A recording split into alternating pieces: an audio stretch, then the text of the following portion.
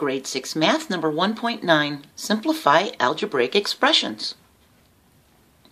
Terms are part of an algebraic expression that are separated by a plus sign or a minus sign, an addition or subtraction sign. Like terms have the same variables, you know, the letters, and the same exponents. How many terms are there? Well, in this one, in this top one, there's three. They're separated by a plus or minus sign, so there's one, two, three terms.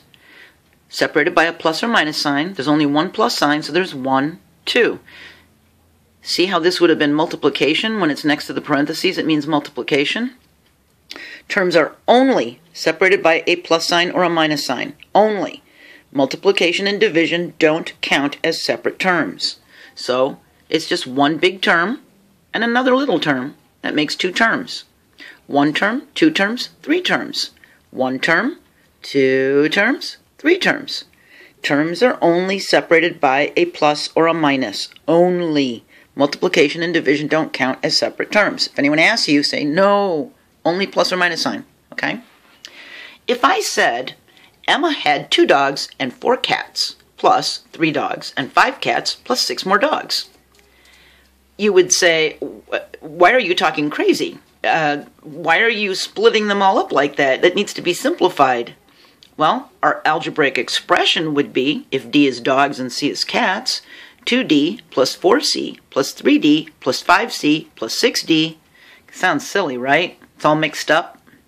So let's simplify this statement and put all the dogs together and then put all the cats together so it's simpler, it's simplified, okay? So we're going to count all the dogs, all the D's, 2, 3, 4, 5, and 6 is 11. Count all the cats. 4 and 5 is 9. So if I had said to you, Emma has 11 dogs and 9 cats, instead of saying, why are you talking crazy, you would have said, wow, that's a lot of animals. Now it's simplified to 9 cats and the 11 dogs, and we can say 11D plus 9C. We put the like terms together to simplify it, see? Well, terms may or may not have variables, you know, the letters. We can simplify them too the terms that don't have any variables. If we have 5 plus 2y plus 3, we've got 1, 2, 3 terms.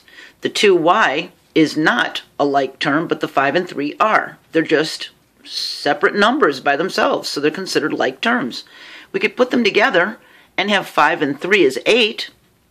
So we have 8 plus 2y. See? We simplified it. Well, terms may or may not have exponents, and we can simplify them too x squared plus 2y plus 3x squared is one terms, two terms, three terms. And x squared and x squared are the same, even if it's got a 3 in front of it, which it's called a coefficient, but we'll get into that later. So x squared and 3x squared are like terms. We can combine them, okay? Well, terms with different variables, letters, and different exponent numbers are not like terms a squared is not equal to a to the third power. And a to the second power is not equal to b to the second power. What if a was 2 and b was 9? That wouldn't be the same thing, right? They're different variables, so they represent different numbers. Well, look at the a squared is not equal to the a to the third. I know you're thinking, but they're both a and they both have exponents. Just, you know, it's the same thing. No, it's not because 2 to the second power is not the same thing as 2 to the third power. 2 to the second power is 2 times 2, that's 4. 2 to the third power is 2 times 2 times 2, that's 8. 4 and 8 aren't the same thing. So, just like these aren't the same thing, these aren't the same thing. You see it? Do you understand? They represent two complete different numbers. That could represent uh, 20, and that could represent 36 for all we know. Okay? We can use a model to simplify terms. If we've got 3x plus 2x plus 5, we can use models to make our x numbers. And we can have the 3 and the 2 and see that there's 5 altogether. So we have 5x plus 5. We can use properties to simplify them. We can turn it around with commutative because commutative says it doesn't matter if you commute from home to school, which way you go because the commute's going to be the same distance. Okay? So it doesn't matter if we use 3 times x or x times 3, the commutative can let us turn it around. Okay? So now we've got x times 3 plus x times 2 plus 5 instead of this way. And we can use the distributive property to rewrite it. See, it's opened up now, and we can put it back into its original form, you know, with distributive property this way as x times 3 plus 2. That way, we can do in the parentheses first and get the 5, and then we end up with x and 5 plus 5. See? We can use the commutative property of multiplication to rewrite it and turn it back around, because remember we used commutative to turn it around up here? Well, we could do it, use it to turn around again and say 5x plus 5. See? Well, we this is the example number one in the book. We can combine like terms. Here's the model. We've got 7a, and we're going to take away 3a. It's going to leave 4a, right? Well, we've got 7a plus 6 minus 3a. So we use the commutative property of addition to rearrange the whole thing and put the a's together, all right? So we're going to take the 7a and we're going to put it in the back with the 3 and we're going to shove the 6 up forward. See that? Because we can do that with the commutative property. It says it doesn't matter if you're going forwards or backwards, all right? Then we can put parentheses around the group of like terms, the 7a and the 3a. And then we can combine those. 7a minus 3a is 4a. So now we've got 6 plus 4a. See? And we were able to simplify that one. Okay, what if we had two different expressions that we were trying to compare? So this is example number two in your book. If we were trying to compare this expression to this expression to see if they were equivalent. So this one's got one, two, three terms in it, and this one's got two terms in it, and we want to see if they're the same thing. So what we have to do is simplify this first expression to be able to compare it to this one. So we use the commutative property of addition to rewrite it, and we put the b in the back and, the, and this 2a squared into the middle. So now it looks like this, but we still have these in parentheses together. And we need to move it so that the like terms are together, so that these both of these 2a squareds are together. So we use the associative property of addition to group the like terms. 2a squared plus 2a squared is 4a squared plus the b. And now we compare it to the 4a squared plus b, and yeah, look, they're equivalent. See? Isn't that something? All right, well, what if we had 5a plus b? We know this means multiply, right? And then we have 5a plus b, and we know that that means multiply. So is it the same thing? So let's simplify the first expression to compare to the second one.